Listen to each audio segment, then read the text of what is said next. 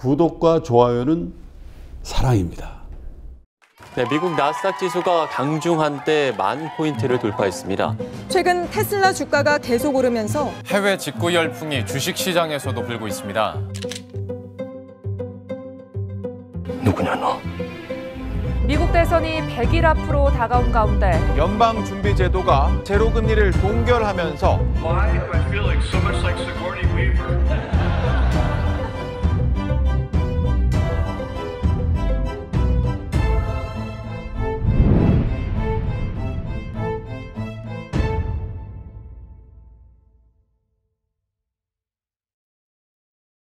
자, 그러면 오늘 이제 본격적인 또 내용으로 들어가 봐야 되겠죠. 네. 아, 이분도 굉장히 유명한 분인 모양이에요. 네. 어, 그 우리 김프로님께서 좀 소개를 해주시면 좋을 것 네, 같은데. 유명해서 어쩔 수, 어, 아, 안 모실 수가 없는 그런 아, 상황이었죠. 팀장님 벌써 올라오더라고요. 네. 네. 글로벌 유한타증권의 에, 글로벌 투자 전략가로 유명하신 분이죠. 유동원 상무님을 모시, 유동원 본부장님을 모시도록 그렇게 하겠습니다. 네. 많은 팬들을 갖고 계시죠. 어서 오세요. 안녕하십니까? 네, 반갑습니다. 뵙겠습니다. 네. 예? 어, 벌써 아니 저희가 아까 시작하면서 잠깐 말씀드리긴 했거든요. 오늘 네. 유동원 본부장님 오신다 음. 했더니 어유 뭐 원래 유명하시 그렇게 유명하신지 몰랐습니다. 아유, 아유, 영광입니다. 저도 잘 몰랐습니다. 저도. 아니 그러면 저 우리 삼프로 TV에 그 많은 분들은 아시지만 또 모르는 분들이 있으니까 제가 하기는 그렇고 저 본부장님 간단히 소개를 좀 해주세요. 아, 그럴까요? 네. 처음이시니까. 예. 이제 이 업계에 일한 지 이제 28년 차 되더라고요. 이제 예. 얼마 전에 보니까. 예. 그래서 그 외국계 애널리스트 출신으로 네. 시작을 했고요. 예. 리서치 센터장까지 했었고. 예. 그리고 나서 이제 또 싱가포르에서 헤지펀드 매니저를 했었고. 예. 어, 그래서 또 소장님 뵀었고. 그렇죠. 네, 그렇죠. 저도 비즈니스도 많이 하셨죠. 네. 예. 네. 그러고 나서 이제 어 중국을 배워야 되겠다. 그래서 이제 네. 또 북경까지 가서 맞아요. 예. 그때 제가 북경 갔었잖아요. 네, 오셨었죠. 예. 그러고 나서 어, 이제 커리어가 지금 하고 있는 일하고 쭉 연결이 돼서 음. 어, 어떻게 보면은 그 다시 한국에 되돌아온 게 2013년 말 14년이었는데 어, 그때부터 이제 글로벌 투자 어, 또 글로벌 자산 배분에 대해서 네. 정말 필요에 의해서 네, 음. 어, 그런 부분들을 계속 얘기를 하고 살짝 짤 길진 않지만 또 전업 투자자를 또 하셨어요. 네. 그래서 그때 아마 치열하게 네, 예, 네, 진짜 치열하게 공부를 예, 하셨던 걸로 그때 생각합니다. 한국 주식을 어, 전업 투자 이 주식 선물도 해보고 뭐 여러 가지를 해보면서 네. 정말 많은 것을 느끼고. 아, 글로벌 자산 배분을 해야 되겠다라는 결론을 내렸죠. 아 그렇습니까? 네. 글로벌 자산 배분 뭐 저 같은 사람한테는 아직 해당되는 건 아니. 전 준비만 하면 되는 상황이겠죠? 아니면 저도 벌써 해야 됩니까 혹시? 어, 네. 만약에 자제분이 있으시다면 네. 모르겠습니다만 어, 당연히 해야 된다고 저는 생각을 합니다. 음. 왜냐하면 어, 이제 시대가 변했잖아요. 네. 그러니까 저희가 젊은 시절 때는 주식 안 해도 되죠. 왜냐하면 그냥 예금하면 음. 그렇죠. 8% 이상 수익을 올리니까. 워낙 고성장이니까 예. 직장 생활 열심히 하면 그냥 승리되고 그렇죠. 연봉 오르니까. 그러니까요. 그래서 근데 이제 지금 젊으신 분들은 뭐 예, 금리 뭐 1% 받으면 많이 받는 거잖아요. 네. 예, 그러니까 어쩔 수 없이 이 자산 배분을 해야 된다라는 네. 얘기를 해드리는 거고 또 우리나라의 구조 자체도 또 아시겠지만 어, 수출이 GDP의 절반 이상이잖아요. 네. 네. 그렇기 때문에 달러를 벌어들이는 국가거든요. 음. 그래서 그 달러를 어떻게 투자를 해야 되느냐. 우리나라에만 투자하기 또 좀 어렵잖아요. 음. 네, 그래서 어, 정말로 필요하고요. 네. 또 제가 이 롱숏이라는 전략, 뭐 하나의 주식을 사면 하나의 주식을 파는 전략을 네. 헤지펀드를 하면서 정말 해봤는데 음. 어, 정말 벌 때는 정말 많이 버는데 네. 장기적으로 벌기가 상당히 어려울 그런 전략이에요. 네. 그래서 가장 필요한 것은 이게 주식만 하는 게 아니라 네. 다른 여러 가지 상품들을 조합을 시켜서 네. 적절한 타이밍에 맞춰서 포트폴리오를 구성을 해서 투자를 음. 하면 가장 이 연간 단위로 8% 이상의 수익을 올릴 수 있는 안정적으로 네. 어, 그런 방법이 자산 배분이더라고요. 예. 네, 그래서 어, 어떻게 보면 이제 이 젊은 층들이 이제 새롭게 자기 부를 창출하기 위해서 예. 금, 예금 투자해봤자 뭐 전혀 부가 창출이 안 되니까 음. 집을 못 살 거 아니겠습니까? 예. 근데 연간 8%를 벌고 이게 복리라면 당연히 이제 한 10년, 20년 일을 하면 집을 살 수 있는 그런 예. 가능성이 있으니까 예. 저는 자산 배분은 정말 필수다라고 생각하고 있습니다. 그럼 자산 배분을 예를 들면 뭐 여러 가지가 있을 거 아니에요. 뭐 저는 아주 기초적인 수준에서 여- 여쭤보면 뭐 무슨 미국 주식 사, 또 한국 주식 사고, 뭐 채권 사고, 뭐 기름 좀 사고 뭐 이런 게 샀다 쳐요. 그렇게 하는 게 자산 배분인 건 맞는 거죠. 그렇죠. 네. 간단하게 말씀하면 그러면 그렇죠. 네. 그렇게 자산 배분을 해놓은 친구가 예를 들어 뭐 무슨 ETF나 이런 게 있으면 음. 그것만 사면 되는 거 아니에요? 그렇죠. 네. 아 그것도 자산 배분으로 들어갑니까? 그럼요. 그러니까 만약에 자산 배분형 ETF가 있다. 네. 그걸 사셔도 돼요. 아 그렇습니까? 예. 근데 이제 그분이 또 어떻게 운용을 하느냐에 따라서 그래 운용자한테 운용자한테 내 자산 배분을 다 맡기는 거지. 그렇죠. 것도 사실 리스크라고. 예, 그것도 리스크죠. 네. 그래서 누가 이제 그걸 잘 하느냐 하는 네. 부분이고요. 어, 그러니까 그 가장 많이 쓰는 이 모델이 있는데 네. 블랙 리터먼 모델이라는 게 있어요. 블랙 리터먼 모델? 모델이라는 게 네. 있어요. 그래서 이게 이제 예상치를 쭉, 그러니까 뭐 예를 들어서 주식이 있다면 미국 주식은 얼마나 오를 거다. 음. 뭐 아니면 뭐 중국 주식은 얼마나 오를 거다. 네. 여러 국가들의 주식의 예상치, 상승 예상치를 집어넣고 또 아니면 뭐 금, 뭐 은이던 뭐 여러 가지 자산들에 대해서 예상치를 집어넣고 음. 그러니까 모델링을 돌려버리면 그러니까 몇 프로에는 어디 투자, 몇 프로에는 어디 투자, 몇 프로에는 어디 투자 이게 자동으로 나와요. 예. 그거를 이제 제가 robo advisor를 만들었었을 때 네. 활용을 했고 음. 요즘에 또 그런 그 상품 파는 전문 회사들도 있죠. 그렇죠. 예, 운용사도 있죠. 그다 대부분이 블랙 리터먼 모델을 활용을 합니다. 예. 그래서 어, 결국은 어느 시점에서는 주식이 좋고 어느 시점에서는 채권이 좋고 예. 또 어느 시점에서는 지금 요즘에 굉장히 핫한 금이 좋고 네. 또 어떤 때는 뭐 2018년 기억하시겠지만 유가가 엄청나게 좋고 그렇죠. 런 식의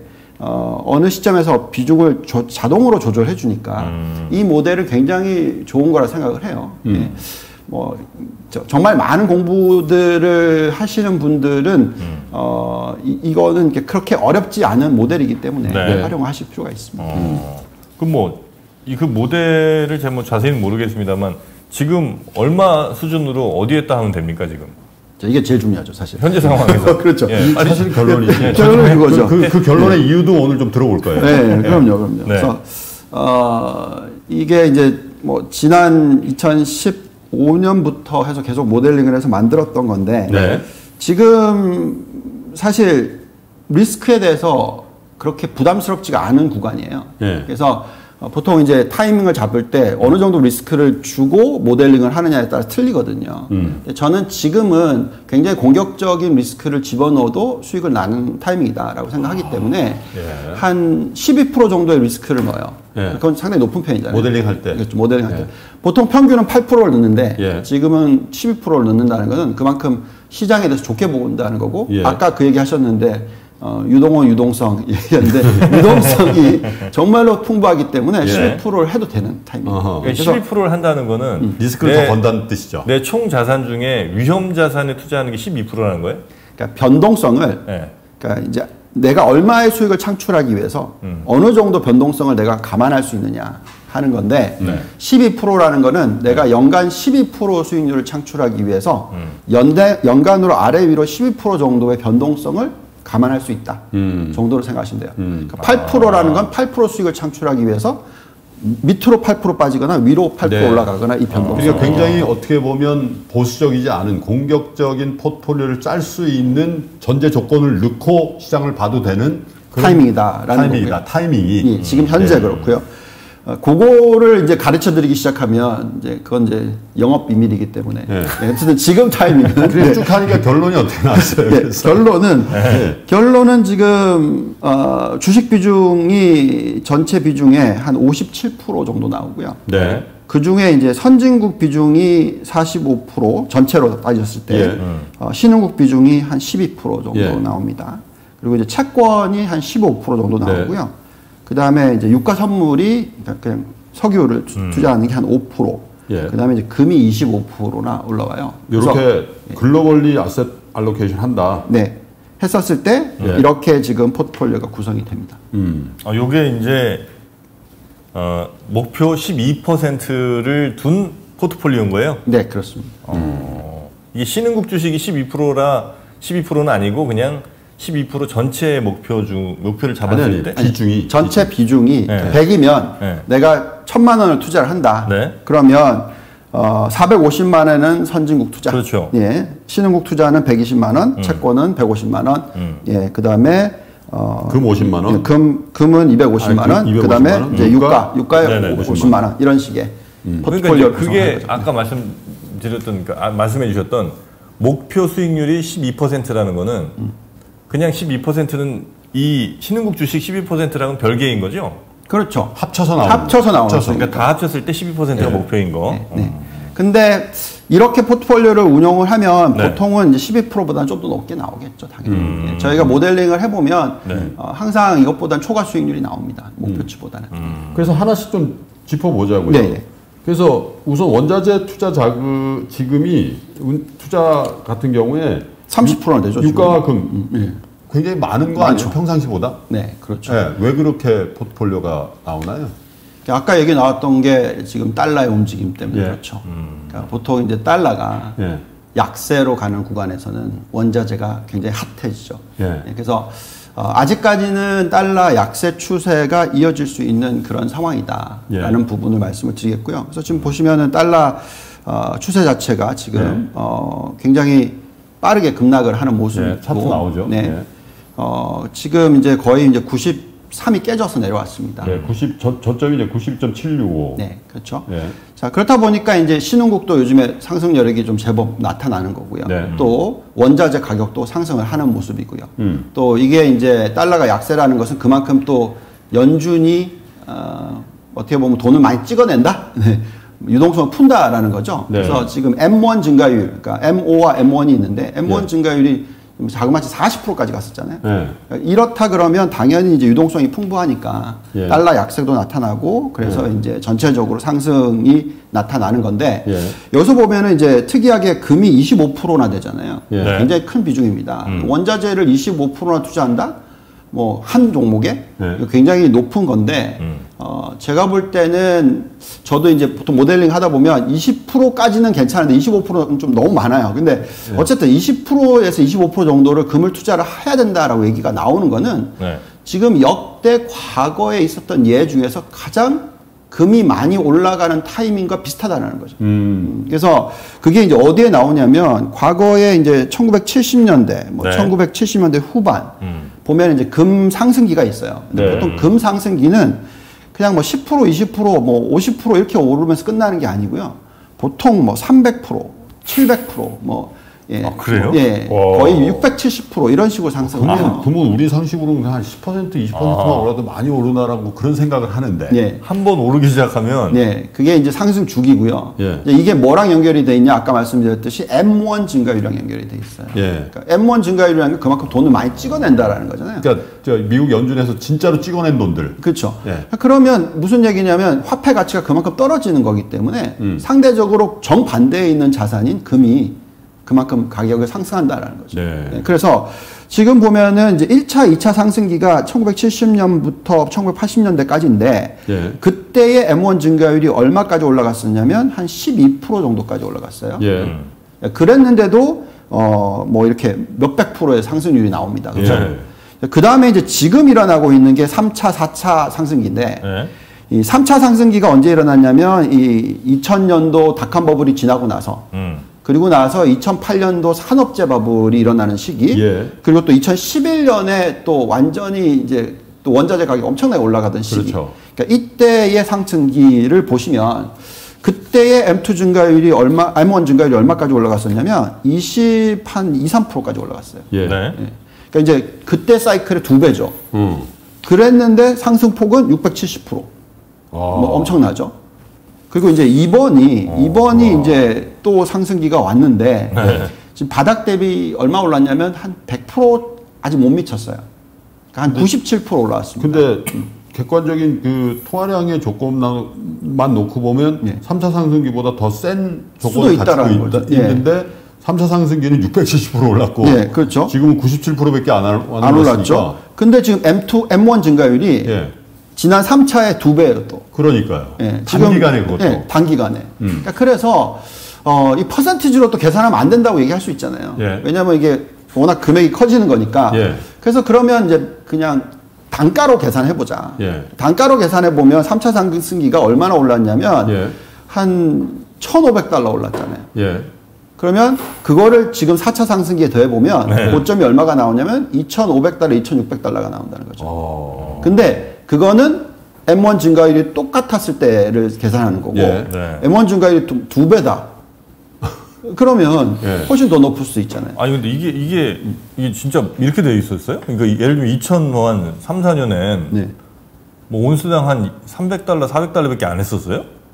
네, 그렇죠. 그럼 뭐 차트가 거짓말을 하겠습니까? 아니, 나 금이 이렇게 쌌던 기억이 없는데.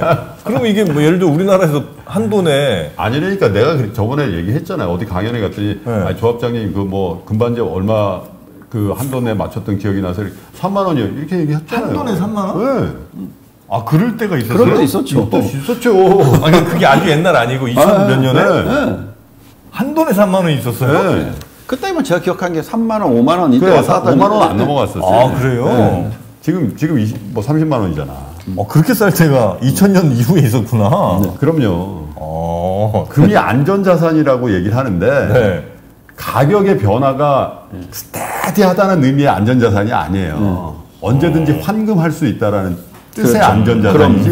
네. 우리 투자자 여러분이 잘못 생각하시. 야 금은 원래 가격의 변화가 없어. 그래서 안전자산이야. 안전해. 예. 그렇게 생각하시면 안 돼요. 이 원자재라는 건 굉장히 변동성이 큽니다. 네. 그래서 꼭 드리고 싶은 말씀은 네. 25%까지 투자를 하라고 얘기 나오지만 예. 그래도 전체 포트폴리오 20% 넘어가는 거는 저는 추천하진 않아요. 안전 자산임에도 불구하고 변동성은 크기 때문에. 크기 때문에 그래서 제가 지금 운영하고 있는 포트폴리오도 예. 금은 딱 20%만 가져가고 네, 있습니다. 네. 예. 자, 그 다음에 이제 여기 이 원자재가 있잖아요. 예. 원자재 중에서 이제 유가가 있습니다. 유가. 예. 유가 변동성 더 심하죠. 예. 근데 지금 보시면은 이 패러다임의 변화라는 차트가 지금 하나 있는데 하나 네. 보시면 예. 지금 유가는 양쪽으로 얻어맞고 있어요. 그러니까 양쪽으로 얻어맞는다는 게 어, 수요와 공급 양쪽에 다. 음. 그래서 공급 어, 확대, 수요 공급. 확대, 예, 공급 확대는 당연히 지금 셰일가스 때문에 그렇던 거고요. 음. 그 다음에 어, 수요는 당연히 전기차 때문에 그렇죠. 네. 그래서 이게 두 개가 연결이 되니까 결국 옛날에 유가 고점이 예를 들어서 80달러였다. 네. 그러면 이제는 고점이 50달러밖에 안 된다. 네. 이렇게 나올 수가 있다라는 거죠. 그래서 지금 유가 비중은 5%밖에 안 나온다라고 말씀을 드린 겁니다. 네. 전혀 안 하기에는 굉장히 중요한 자산이니까. 그렇죠. 예. 유가. 그 다음에 이제 국채죠, 국채. 네, 채권. 그다음이? 네. 중요하죠. 예. 자, 이제 안전자산 중에서 우리가 다들 생각하는 게 굉장히 편하게 투자를 하는 게 채권입니다. 그렇죠? 그래서 국- 미국 국채는 망할 일이 없잖아. 그래서 예. 이제 당연히 어, 비중을 제법 많이 가져가야 되는 것도 사실이죠. 예. 어, 근데 이제 잘 생각해 보셔야 되는 거는 이제 과거에 2011년도에 미국이 신용등급 강등을 한번 당했었잖아요. 예. 그때가 이제 워낙 채권이 많이 늘고 부채가 많이 늘었으니까. 근데 지금 비슷한 모습이죠. 그래서 어느 시점에서 한번 강등 당할 수도 있어요. 네. 어, 그래서 그때 이제 채권의 흐름이 어떻게 됐는지, 음. 또 그리고 그 이후에 또 조금 요즘에 인플레이션에 대한 걱정들도 또 많이 하시지 않습니까? 돈 그렇죠. 워낙 많이 풀었으니까. 네. 그럼 갑자기 인플레이션이 들어오면 채권 금리가 올라갈 수가 있는 거잖아요. 음. 그래서 이런 부분들을 감안했었을 때 채권을 완전히 안전자산이라고 생각할 수 있느냐. 음. 물론 원금 손실은 적을 수 있으나 실질적으로 수익을 창출하기에는 거의 불가능한 상품이 될 수도 있다라는 네. 거죠. 그래서 어, 이럴 때는 이제 채권 투자에 대해서는 좀 조심스럽고요. 예. 지금 보시면 이제 이 미국 10년 국채 금리가 뭐 지금 0.5%대잖아요. 예. 근데 이제 그 숫자만 보면 안 되고 네. 물가 상승률을 감안한 네. 숫자를 보면 실질 금리. 실질 금리로 네. 보면 얼마가 나오냐면 마이너스 1%가 나와요. 그러니까 실질 금리는 없거나 마이너스라는. 마이너스라는 거죠. 그래서 이 채권에 투자를 하면 네. 그냥 나는 손실을 1%는 볼 거다 생각하고 예. 투자를 하는 게 맞다라는 거죠. 음. 근데 그게 투자인가 하는 부분에 있어서는 어, 느 정도 리스크가 있는지만 생각해야 되는 거고 네. 그렇다 보니까 저희 포트폴리오에는 지금 한 15%만 올라온다. 네, 네. 그래서 채권 부분에 있어서는 이제 그 정도의 투자를 하시는 게 좋다라고 말씀을 드립니다. 네. 더더욱이나 인플레이션이 올라올 조짐들이 조금씩 자꾸 생기고 있잖아요. 예. 예, 원자재 금도 사실 뭐 인플레이션에 영향을 미치니까. 네. 그래서 그런 부분을 감안할 때는 채권 부분을 항상 이게 안전자산이라고 생각하지 마시고 예. 좀 조심스럽게. 예. 뭐 기억나는 게 2017년인가요? 갑자기 예. 금리가 막 3%까지 올라갔었을 때 예. 증권사들 엄청난 손실 봤었죠. 기억나시죠? 네, 그래서 맞아요. 이게 채권 투자가 네. 어, 금리가 만약에 빠르게 1% 2%대로 올라가 버리면 굉장히 위험할 수도 있기 때문에 그게 2018년도 초에도 한번 빅스 뛰면서 그죠? 네. 예, 미국 채금리 확 뛰어서 그때 상품 터지면서 뭐 유동성 위기 뭐 이런 얘기도 나오고 막 그랬던 기억이 나는데. 자 이제 주식으로 한번 좀 가봐야죠. 예. 그렇죠. 선진국 주식, 신흥국 주식. 아까 말씀해 주실 땐 선진국 45% 네. 그리고 신흥국 12%였습니다. 예. 자, 그럼 주식만 하시는 분들만으로 계산을 해보죠. 예. 이거 그러면 이제 주식을 100으로 계산하면 네. 어떤 숫자가 나오냐면 선진국 80, 신흥국 20만 나와요. 뭐 예. 그렇겠죠. 네, 근데 이 숫자를 놓고 보면 어 이상한데 달러가 약세로 가면 신흥국 시장이 더 좋을 거 아니야? 예. 그래서 지금 우리 한국 시장도 좋고 좋잖아요. 그래서 신흥국 시장 비중을 더 많이 늘려야 되는 게 아니냐? 예. 뭐 일시적으로는 맞다고 저는 생각을 합니다. 네. 근데 어, 문제는 뭐냐면 달러가 계속적으로 초약세로 갈 거냐? 음. 빠르게 지금 한 10% 정도 절하가 됐는데 음. 여기서 또 빠르게 10% 정도 절하가 될 거냐 하는 부분에 있어서는 어, 의구심은 갑니다. 네. 어, 그리고 신흥국 투자를 또 하지 말라 이게 아니죠. 그래서 20%라는 것은 지금 현재의 전체 선진국의 시가총액, 그다음에 전체 신흥국의 시가총액을 다 더했을 때딱 예. 비중을 계산해 보면 선진국 80, 신흥국 20이 나옵니다. 그래서 예. 현재의 시가총액에 맞춰서만 투자를 하면 된다라고 음. 말씀을 드리는 거고요. 어, 그리고 그, 이 달러가 지금까지는 93까지 내려오는 거는 당연했었어요. 네. 왜냐하면 103일 때는 미국이 엄청나게 부양 정책을 쓰고 있고 돈을 푸는 강도가 유럽에 훨씬 더 높은데 대비해서. 네. 근데도 달러가 강세로 갔다. 이건 좀 이상했던 거죠. 이상했었죠. 그래서 달러 약세로 갔는데 예. 이제 이제 는 키높이가 좀 맞춰지고 있는 상황이거든요. 예. 예, 유럽도 엄청나게 풀고 있으니까 그러니까 그렇다 보면은 이제 실질적으로 달러의 약세 강도가 예. 이제 좀 점점, 점점 약해질 수가 있다는 거죠. 음. 그래서 그렇다 보면 이제 신흥국만 투자를 하는 게 아니라 음. 숫자가 뒷받침되는 신흥국에 투자를 해야 아하. 된다라는 거고 그렇다 보니까 여기에 들어가는 국가가 한국인 거죠. 대표적으로. 대표적으로. 그 중에서도 뭐 삼전 뭐 이런 거 이런 거겠네. 들어가는 네. 거죠. 네. 그래서 한국, 대만, 음. 그 다음에 중국, 음. 그러니까 또 여기서 하나 더 더하면 뭐 베트남 정도. 네. 그러니까 왜 그러냐면 이 국가들이 다 대부분 제조 강대국이라는 거죠. 예. 네, 그래서 지금은 원자재 가격이 조금씩은 오르고 있으나 예. 이쪽보다는 이 4차 산업혁명이라고 얘기를 하고 있기 때문에 예. 네. 이 4차 산업혁명에 관련돼 있는 제조업들이 뒷받침되는 그런 국가들, 네. 제조업이 강한 국가들에 투자를 하는 게 맞다. 그리고 그 묘하게 그 나라들이 네. 코로나 19가 조기에 뭐 완전히 없어진 건 그렇죠. 아니지만 조기에 진압이 된그 네. 나라예요. 맞아요. 네. 중국, 한국, 베트남도 대만, 대만. 예, 베트남, 네, 그게 얘기가 되네요. 신기하죠. 신흥국 살려면 이네 네, 네개 나라 사는 게 여러 가지로 부합이 되는군요. 그렇죠. 그리고 저는 지금을 어디하고 비교를 하냐면 어느 때하고 비교를 하냐면 네. 어, 우리나라가 IMF 금융위기 터졌었을 때 예. 그리고 나서 이제 닷컴 버블이 시작됐었을 때, 네. 뭐 시작이라기보다 거의 끝물의 화려한 시기. 예. 그게 이제 98, 99, 2000년 초까지잖아요. 예. 그러니까 이때하고 비교를 좀 많이 하는데 예. 그때도 보면은 어, 신흥국이 위기가 터지니까 미국에서 엄청나게 유동성을 풀었어요. 예. 그래서 일시적으로 달러가 한 10% 정도 절하가 되고요. 예. 그리고 나서 한 몇 년간 달러가 또 강세로 갑니다. 음. 그래서 저는 지금 계속 얘기하고 있는 부분이 미국 주식 비중을 예. 낮게 가질 갈 필요는 없다. 예. 어, 전체 포트폴리오에서 60% 정도는 들고 가야 된다. 음. 신흥국 비중이 아까 80%라고 얘기하면 거의 대부분을 미국 주식을 가져가야 된다. 아, 죄송합니다. 선진국이 선진국은? 80%라면 네. 그 중에 거의 대부분은 미국을 들고 가야 된다고 말씀을 드리고 있고요.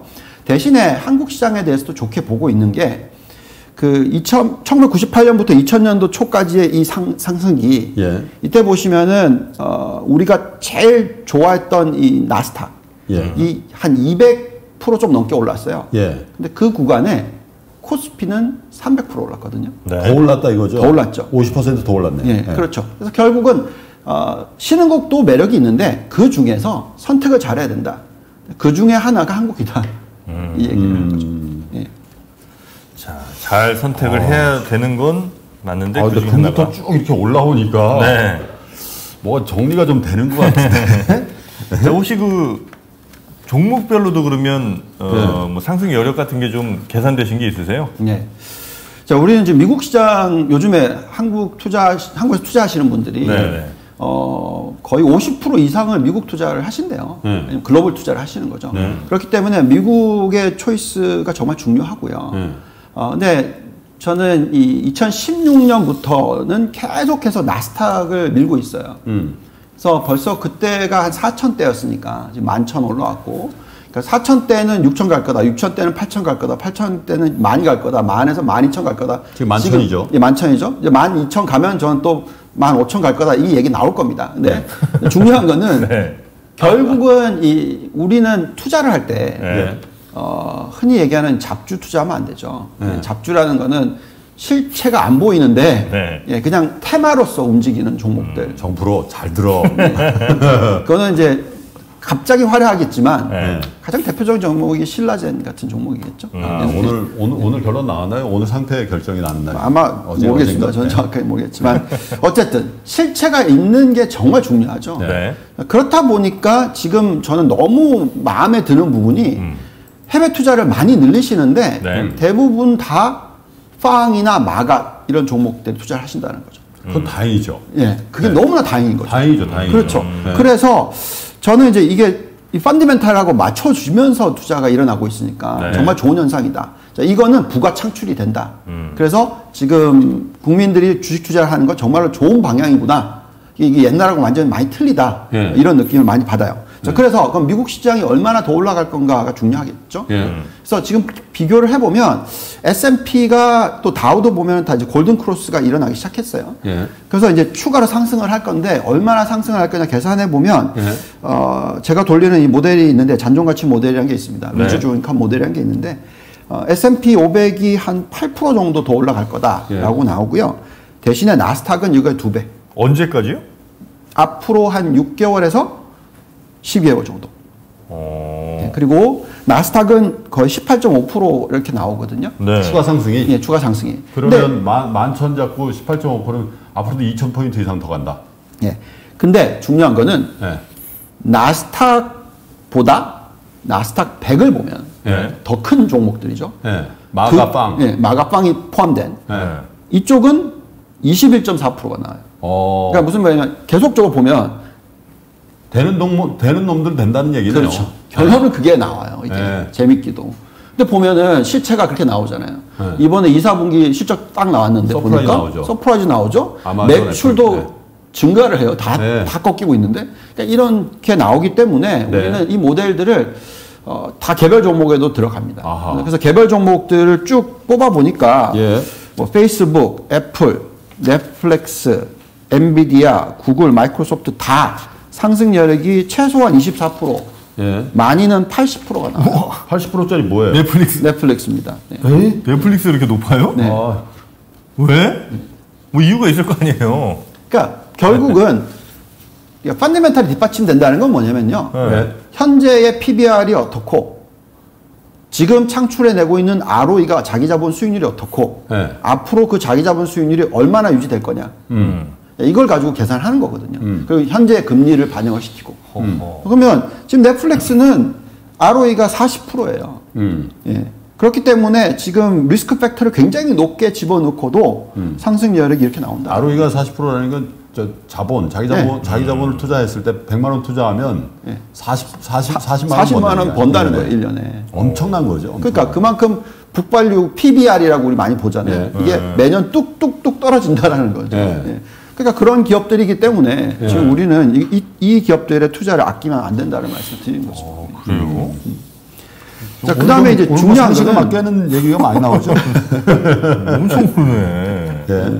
그다음에 이제 중요한 거는 이제 워낙 이게 실체가 없는 상승이다 이런 얘기들 많이 하시잖아요. 예. 그럼 좋다. 그럼 실체가 없는 거 아닌데 그냥 실체 없는 걸로 계산해 보자. 예. 그럼 도대체 닷컴 바블에는 얼마나 올라갔느냐라고 네. 계산을 하면 우리가 저는 어떻게 계산하냐면 옛날에 이제 우리나라가 2008년도에 금융위기 터지기 때 큰 폭의 폭락장이 올 거라는 예상을 했었는데 네. 그때 썼던 지표가 뭐냐면 M2와 시가총액을 가지고 계산했었어요. 네. 음. 그래서 M2가 얼마 정도로 많이 커져 있으니까 예. 여기에 이제 시가총액을 계산하면 몇 프로가 나올 거 아닙니까? 네. 그러니까 그게 과거 역대 최고치하고 비교, 비교했을 때 얼마나 되느냐라고 계산해 보면 어, 지금 나스닥이 얼마까지 가야지 현재 M2 풀린 거로 계산이 되냐면 예.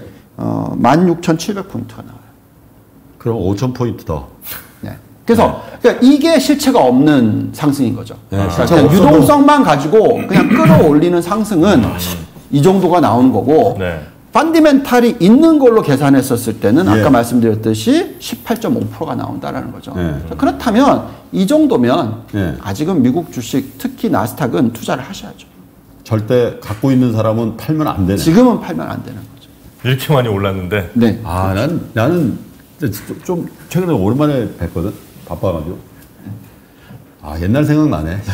옛날, 옛- 옛날에 우리가 이런 얘기 엄청 했거든. 2000, 언제죠? 2009년도 이럴 때. 네, 그렇죠. 그때도 솔직히 기억나실 거예요. 그때 하이닉스 우리 두, 네. 둘이서 네. 하이닉스 진짜 몇백 원 할 땐가? 뭐, 맞아요. 100원 달때 아, 진짜라니까. 진짜 회사 찾아다니면서 이거 사야 맞아요. 된다고 막 둘이서 막 어, 아, 제가 저희 회사는 투자를 못 해가지고 그걸 나한테 준 거지. 한도가 걸려가지고 네. 못 해가지고 내가 아주 짭짤하게 회사 돈이지만 아, 기억이? 나네. 아, 야, 하여튼 뭐 상승 여력이 가만히 있어봐. 중국 어, 얘기도 해야 되고 그런데 네, 시간이 없으시죠? 네, 시간이 좀 조금 촉박한데 네. 다음 주에 한 번 더 하십시다. 네, 알겠습니다. 유상문 옛날 생각이 새록새록 나서 네, 네, 네. 그 우리나라 얘기도 좀 안 하셨으니까. 아, 그러니까 그렇죠. 내가 네. 약간 약간 표현이 방송 용어는 안돼 뭐 맞은 느낌이야 지금. 아, 내가 아, 이런- 이런 걸 해야 되는데. 네. 자 그러면 네. 우리 유동원 본부장님은 네. 음, 다음 주에 아직 좀 못한 얘기들이 많이 좀 남아 있는 네. 것 같아서 어, 그 얘기 음. 다음 주에 다시 한번 아시에 모시고 네. 들어보도록 하겠습니다. 아 오늘 너무 재밌는 얘기 흥미롭게 또잘 풀어주셔서 대단히 정프로가 오랜만에 훅 빠지네. 아 저는 가야 되겠어요 아무래도. 어. 아 나스닥을 내가 지금 왜 안 갔지? 너무 늦은 거 아닌가가 늘 마음속에 있어요. 몇 달 전부터 네. 계속 나스닥 생각을 했는데 아, 너무 오른 거 아니야 이 생각이 저를 떠나지 않았어요. 네. 아직도, 매번 받는 질문입니다. 아직도 갈 곳이 멀군요. 2년 전서부터 받는 질문이지. 함께 해주신 아, 우리 유한타증권의 유동원 본부장님 예. 대단히 고맙습니다. 감사합니다. 감사합니다.